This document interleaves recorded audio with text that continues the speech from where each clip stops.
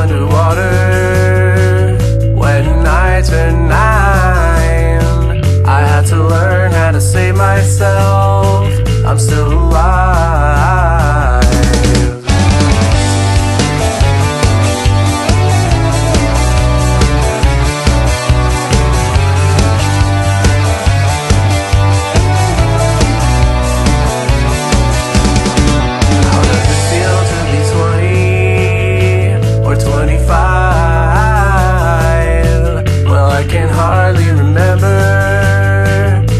survive.